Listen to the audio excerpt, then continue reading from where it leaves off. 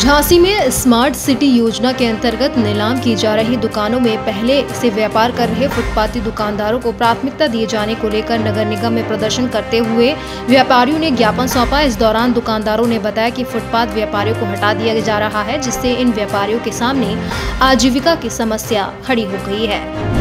कासगंज के सभी थानों पर थाना समाधान दिवस का आयोजन किया गया, जिसमें डीएम एसपी ने जन समस्याएँ और समस्याओं को जल्द गुणवत्तापूर्ण निस्तारण करने के आवश्यक दिशा निर्देश दिए थाना दिवस के दौरान एसडीएम, सीओ सहित अन्य विभागों के अधिकारी कर्मचारी गण मौजूद रहे। विदेशों में नौकरी दिलाने के नाम पर करोड़ों ठगने वाले गिरोह का पुलिस ने भांडाफोड़ किया है। इस मामले में गिरोह के सरगना सहित आठ ठगों को पुलिस ने दबोचा। ये ठग स्कॉलरशिप का लालच देकर छात्रों का खाता खोलते थे और उसके ज़रिए भोले भाले मासूम लोगों को अपने जाल में फंसाते थे।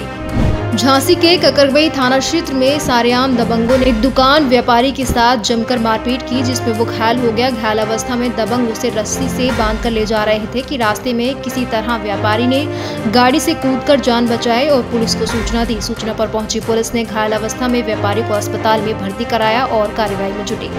गाजियाबाद के थाना कोशाम्बी पुलिस ने फर्जी आईएएस महिला समेत तीन अभियुक्तों को गिरफ़्तार किया है, जिसमें थाना कोशाम्बी क्षेत्र के एक कैफ़े में जाकर महिला ने पैसे न दिए जाने को लेकर अपना फर्जी आईएएस अधिकारी की आइडेंटिटी बताई। मौके पर कैफ़े मालिक ने कौशाम्बी पुलिस को बुलाया, जिसके बाद पुलिस ने जाँच की तो महिला और उसके तीन सहयोगियों को गिरफ़्तार किया और जेल भेज दिया।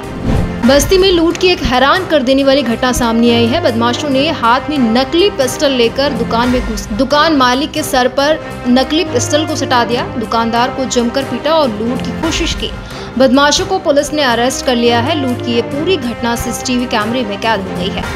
जनपद में सीएचसी प्रभारी सतीश कुमार के निर्देशन में डॉक्टर गौरव कुमार और डॉक्टर जोत सिंह ने चरथावल कस्बे में चल रहे फर्जी अस्पतालों पर छापेमारी की। इस छापेमारी के दौरान कुछ अस्पताल बिना बोर्ड के बंद, मकानों के चलते पाए गए, जिसके बाद सीएचसी की टीम ने अस्पताल संचालकों को नोटिस दिया। इस दौरान ज़्यादातर फर्जी अस्पताल संचालक अपने अस्पताल बंद कर मौके से फरार हो गए। आज शाम को खत्म हो रहे पंचक के बाद कांवड़ियों की संख्या में तेज़ी से बढ़ने की उम्मीद है। डाक कांवड़ भी हज़ारों की संख्या में पहुँचने की संभावना है, जिसके मद्देनजर एसडीएम ऋषिकेश ने कांवड़ क्षेत्र में पढ़ने वाले सभी आंगनबाड़ी और स्कूलों की छुट्टी 31 जुलाई तक कर दी है। वहीं कांवड़ियों की संख्या बढ़ने की सूचना से पुलिस महकमे ने भी अपनी कमर कस ली है। उत्तराखंड के पूर्व स्वास्थ्य मंत्री और किच्छा के वर्तमान विधायक तिलक राज बेहड़ का स्वास्थ्य बिगड़ा। पाँचवें दिन धरने को संबोधित कर रहे थे कि अचानक तिलक राज बेहड़ ज़मीन पर गिर पड़े, जिन्हें सामुदायिक स्वास्थ्य केंद्र में भर्ती कराया गया। जिलाधिकारी हाथरस आशीष कुमार और पुलिस अधीक्षक ने संयुक्त रूप से जनपद में उत्तर प्रदेश नागरिक पुलिस सीधी भर्ती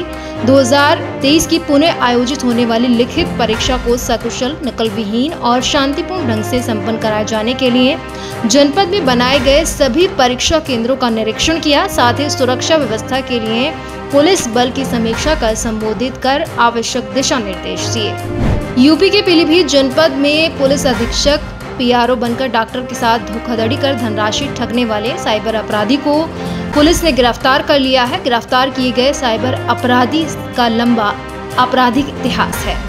बरेली थाना सीबीगंज के खगोड़ा मंदिर के पास एक अज्ञात महिला का शव मिला था। पुलिस ने आरोपी की तलाश की और मामले को कुशल अनावरण किया। तो इस मामले में मंदिर का बाबा ही महिला का हथियारा निकला। पुलिस ने बाबा को हिरासत में लेकर विधि कार्यवाही शुरू कर दी है।